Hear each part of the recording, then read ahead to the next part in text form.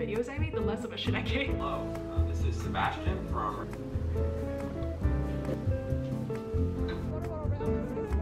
Hello and welcome to a brand new studio vlog. In this video, I do about two weeks worth of work, so a lot of designing new products for my shop, as well as a lot of painting. If you're looking for a vlog with a lot of time-lapsey art making sequences, this is the video for you. Um, and yeah, I like this video. I hope you like it too, and I'll see you in the next clip. Bye! My work is good and honest, yet even with all the effort, it seems like the road's still slipping away. At least I can come back here.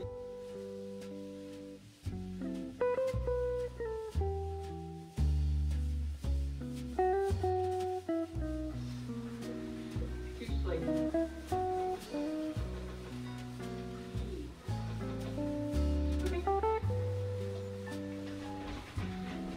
So cute.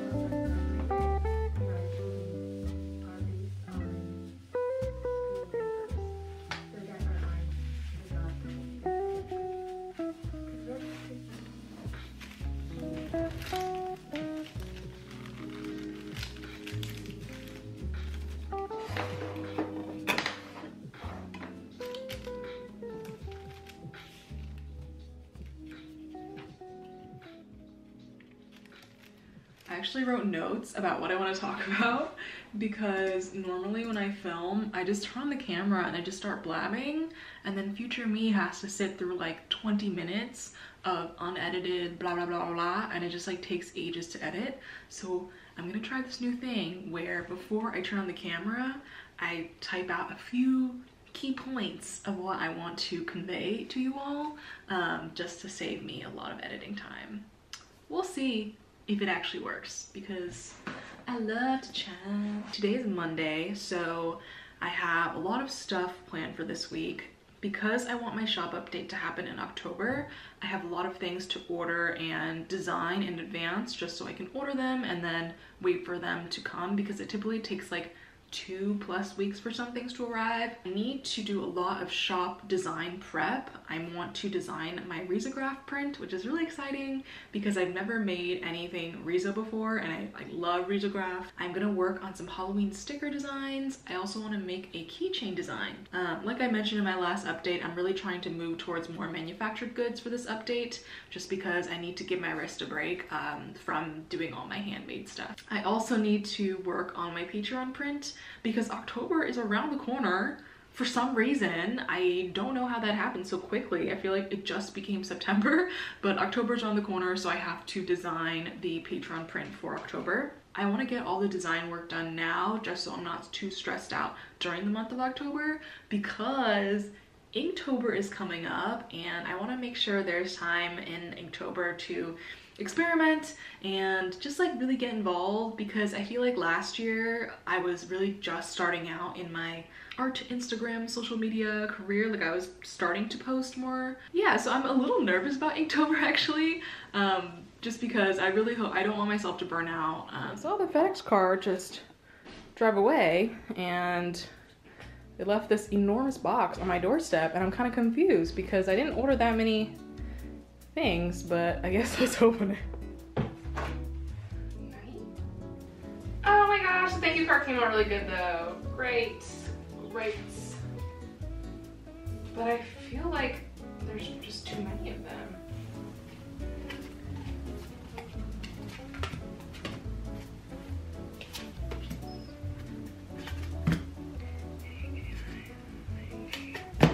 Was so sure that they made a mistake and sent me too many, but this is indeed the amount I ordered. I guess like, I've just never ordered this large of a quantity of anything before, so I just like the large box was very alarming to me. I was like, it cannot be that I ordered this many, but indeed, I did order that many. For some reason, this hammy just turned out really dark. Look, I feel like my camera might be adjusting to make it look um, quite bright, but it's a lot darker than what I intended. But I do like my thank you card. I was really worried about the cut line and you can see the bottom of it. The very bottom, some of them um, are cut right perfectly. Um, but just because like the irregularity of some machines, some of them aren't cut perfectly to the end, but it's not a huge deal and I hope people don't mind. It's also my thank you card, so no one's actually like paying for this piece in itself, so I'm comforted by that fact. Thank you.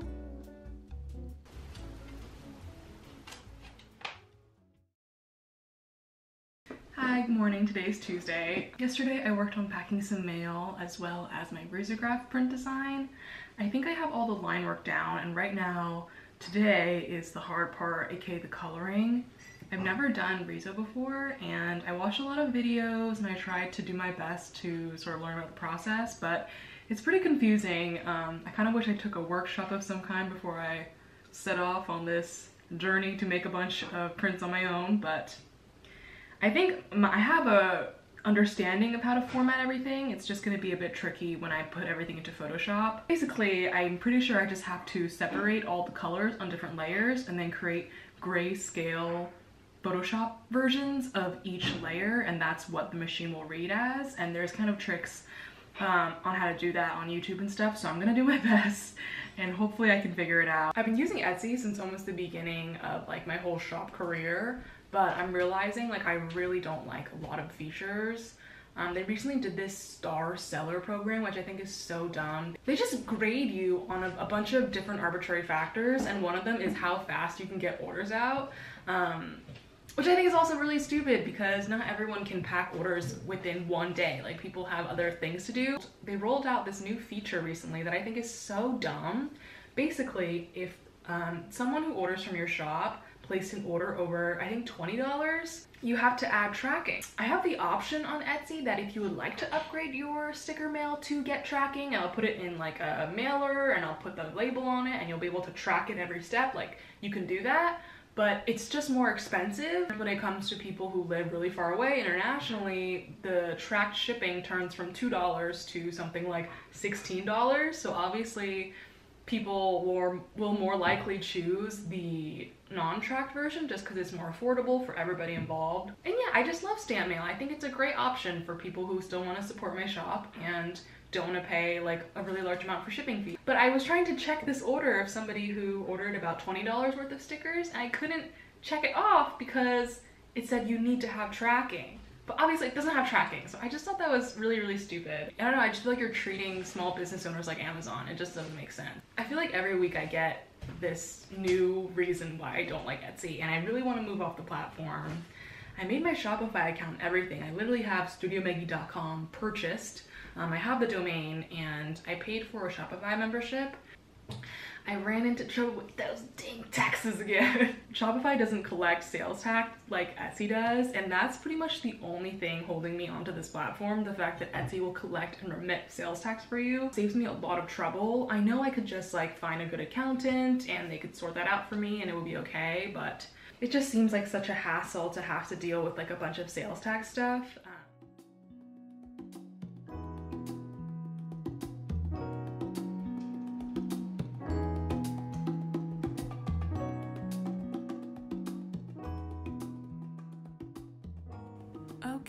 Now we're gonna watch me work on my Riso design. Working on this was really, really fun. I have never done this before, like I previously mentioned, so there was a pretty big learning curve. Um, I think it just took me a while to understand what I had to do first and foremost, but I basically started out just by putting different colors on their own separate layers. So I would never use green and pink on the same layer. I still had multiple layers while I worked, but there were only pink layers and green layers. And then when I finished the piece, I combined them all into one pink layer and one green layer. And from there, I followed some really handy dandy YouTube tutorials on how to um, change all the layers into spot channels. And this is not something I'm familiar with at all. Um, but I, I had a really great time learning. Um, I don't really learn that many new things these days now that I'm not in school anymore. So it was really fun to really, I don't know, use a different part of my brain. And I just normally don't make art in this way where each color has to go on its each individual layer. So um, it, it, was really fun, I have to say. Very tedious, but fun. Um, and I, I, chatted with some of my art friends and we were talking about going to some like local risograph workshop classes because they have those which is really cool. Um, and I, I have really high hopes for how this print is going to look. I think risograph might look really, really cool with my style, so I definitely will be making more in the future. I don't even know what it's gonna look like yet, but I'm almost positive I will be making more in the future. And hopefully I will get to use a machine for myself. And yeah, I'm really proud of myself because this is definitely something that's out of my comfort zone. It was something that really intimidated me, but I am not only really happy that I know more about the process, I know more about how the machine works, and I also feel like this design is pretty cute. and I'm excited to like hang it up in my kitchen. So yeah, I hope you like the design as well. It's gonna be coming out in my October shop update, and yeah.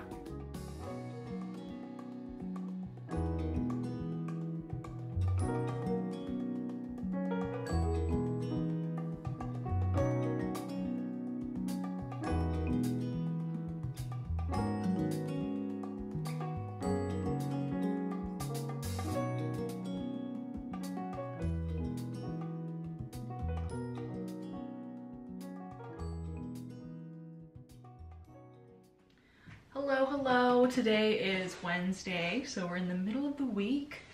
Yesterday, I finished up my Riso design. Um, it took me a while to figure out how to format everything, but I think it's all done and I can send it off today.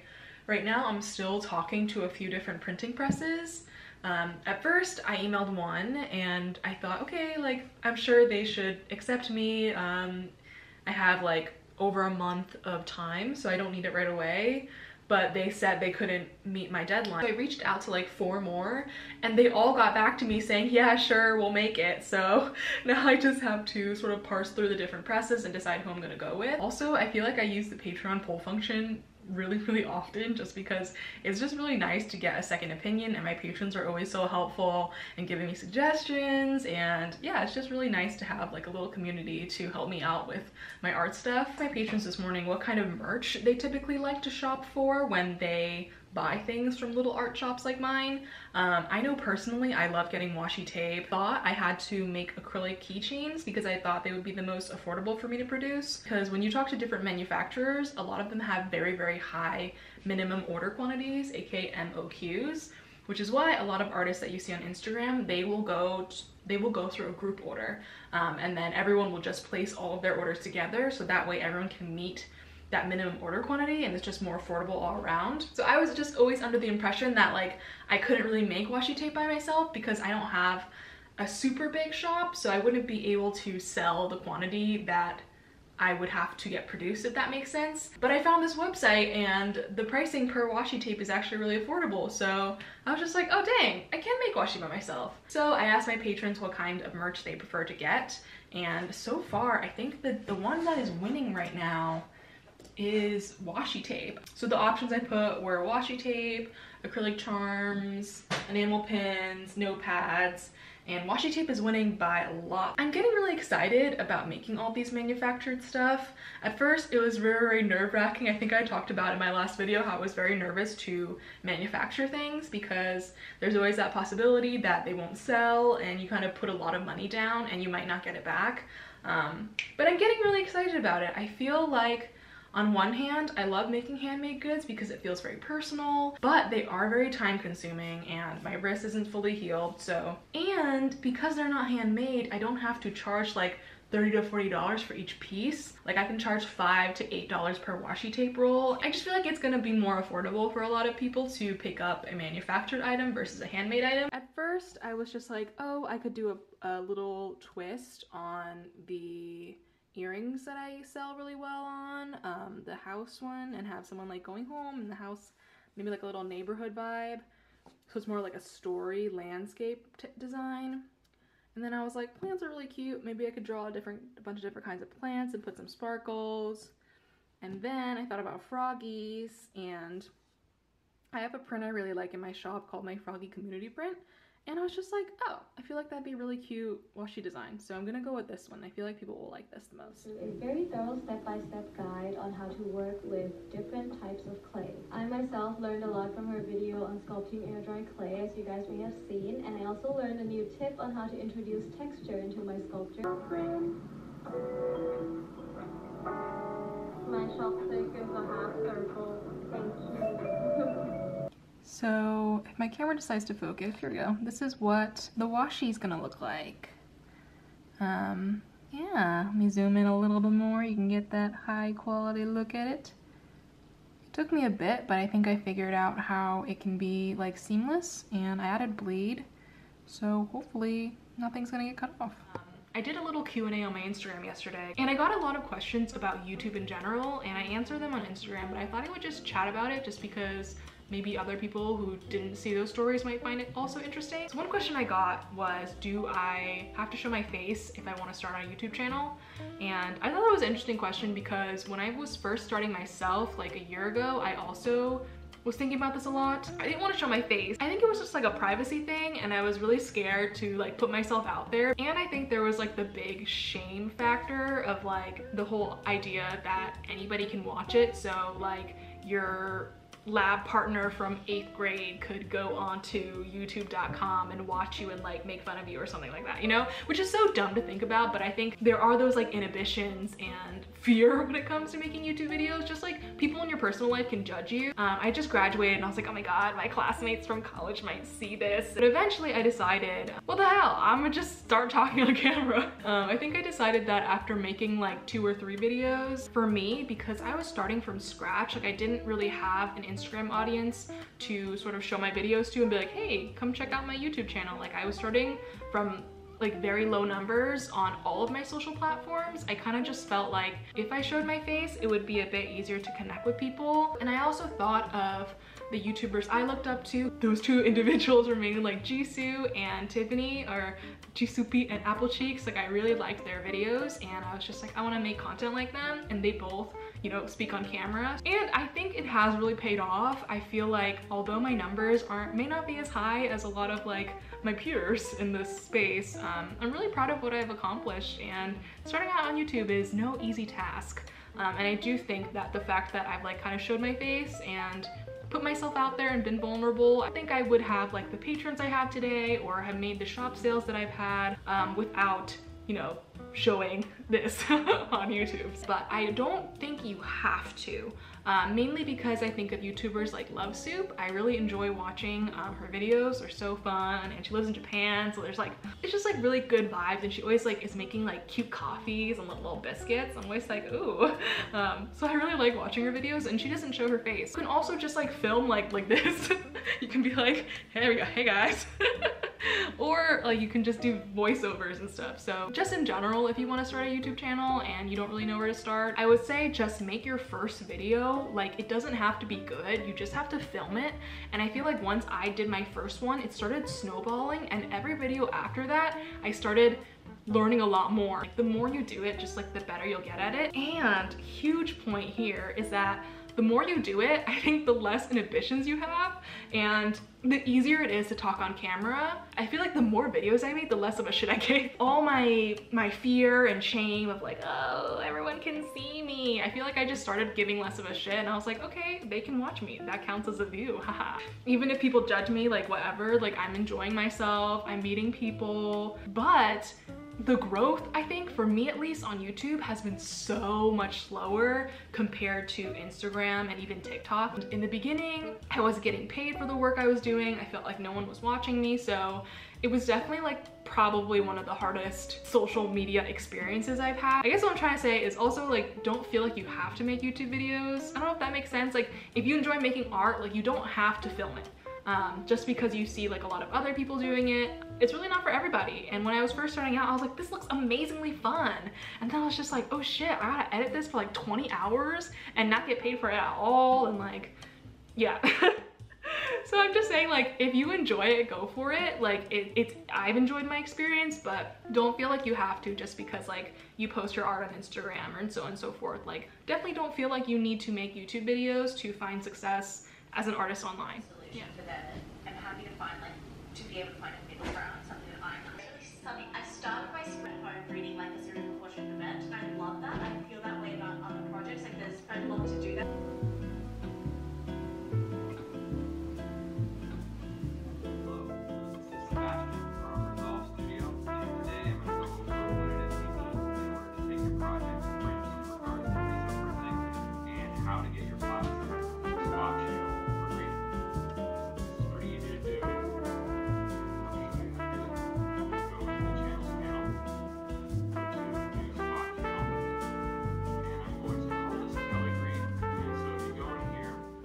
Okie doke, I think my Riso design is finally formatted correctly. I watched a YouTube video by Resolve Studio and it was very, very helpful in helping me change all of my layers into spot channels, which I did not know how to do, but now I do, which is pretty, pretty rad.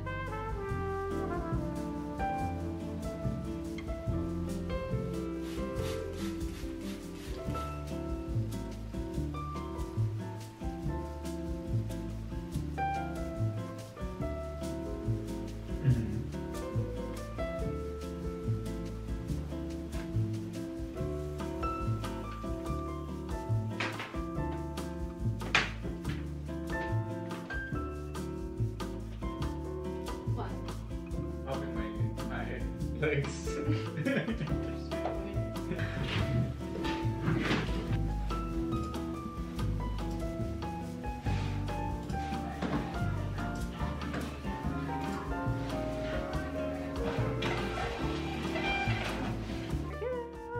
I just used my label printer uh, for the first time and it's so nice. Why does the light look so dramatic? It's artsy. Look at this.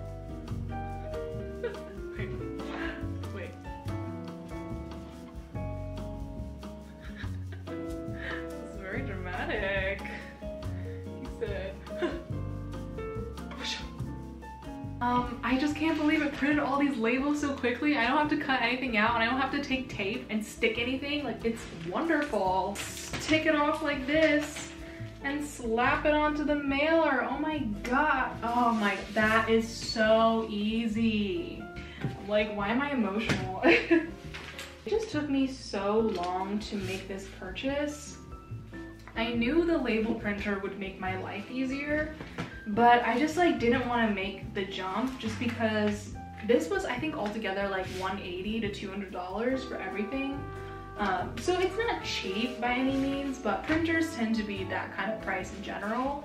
But I was just like, oh, I can't afford it right now. I'm just not gonna do it. I'm not gonna do it. But bro, thank God I did. I do feel like I'm having way too much fun with this label printer, but you have to understand before I got this label printer, I'd done over a year running my shop with just printing it out, cutting it out, and using tape to stick everything down. And it doesn't sound too bad, but when I had a really large volume orders, it was just so annoying and irritating. Um, and it just didn't feel good that I had to like put take out like four little pieces of tape for every single label and I always be worried it would come off. And it also didn't feel good that I was using a lot of ink and a lot of plastic. Um, but this is a thermal printer, which is super cool and it's good to invest in myself, in my shop, and yeah. That's all I have to say. Um, yeah.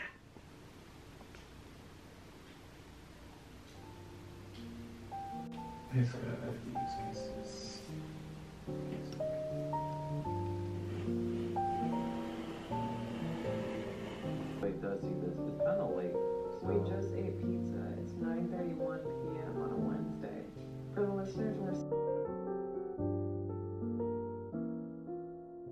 So, fun fact before I started working on these tulip paintings you see here, I was working on one of Tiffany, aka Apple Cheeks Cheektober prompts, which was um, Apple People.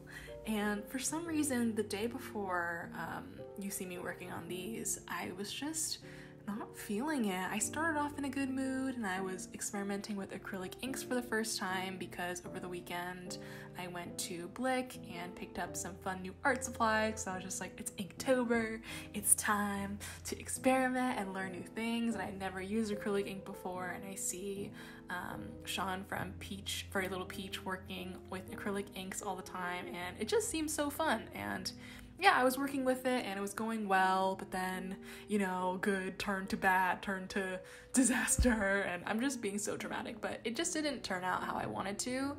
And I think I was just in a really bad mood that day. And I don't know if you also feel like this, but sometimes when I'm not in a good mood and the art isn't really looking a certain type of way, it just like, it just makes this really negative feedback cycle and it just gets worse and worse. But the next day, um, I was looking at the piece I was working on that I was so unhappy with, and I was just like, this looks fine.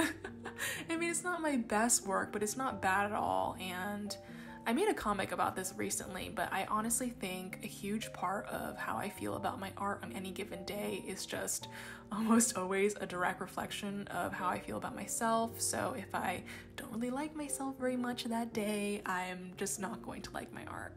Um, and yeah, it, it's a journey, you know. Self love, she's hard.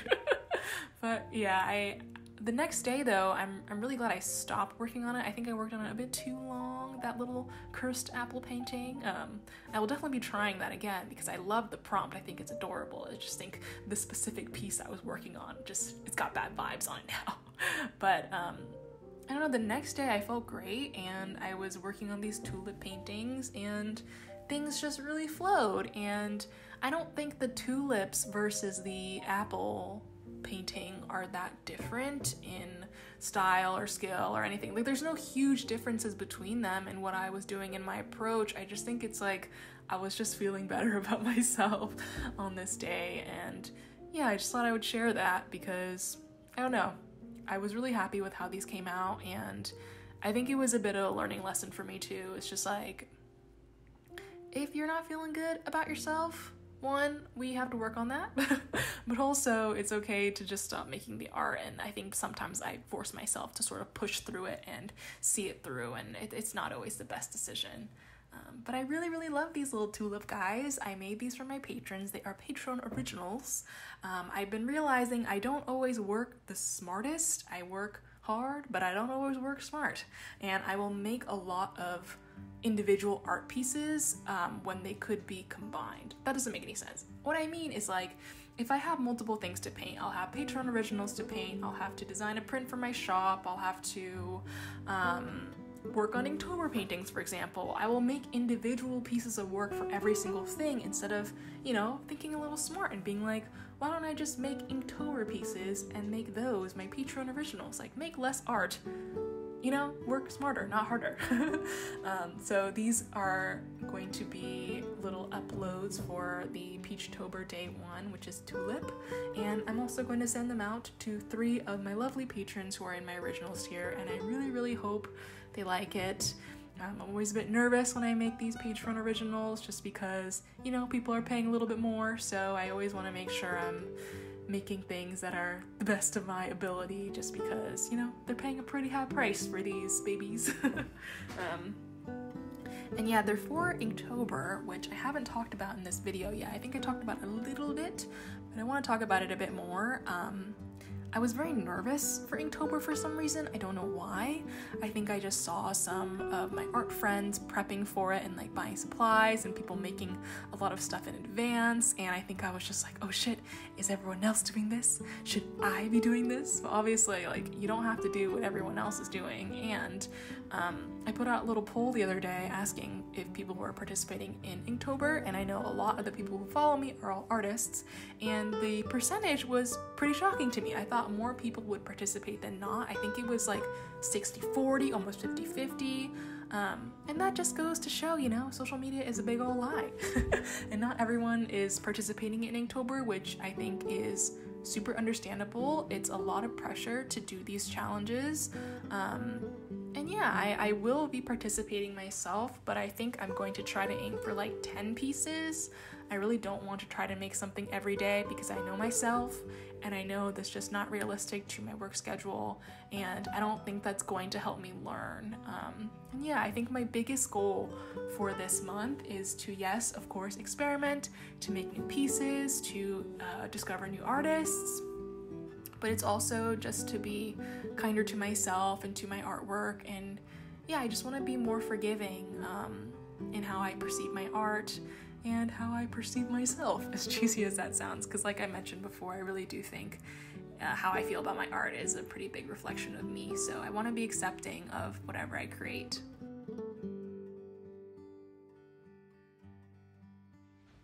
So I think I'm done for the day. I did three originals, which I didn't expect to complete, but I did. So I'm really proud of myself. I also think this will probably be it for this video. I feel like I did a lot in this video. Um, sorry, I'm a little hyped up on the caffeine from the boba. this happens every time I get boba and I just like, I never learn my lesson. I always get like really hyped up. Um, I think it's just like the mix of the sugar and the black tea and I'm just like, anyways. I hope you liked this video. I had a great time filming it. Thank you for hanging out with me so long. If you made it to the end of the video, congratulations. It's a lot of watching me, so I appreciate you very much. Um, and yeah, I'll see you in my next one, which will be in about two weeks time. I'm actually going to be going on vacation um, in the middle of October, so yeah, the second the second week of October, I'm going to be going on a little vacation, so there will be no video out that week. But I'll see you either next week or in two weeks. Yeah. Um, bye.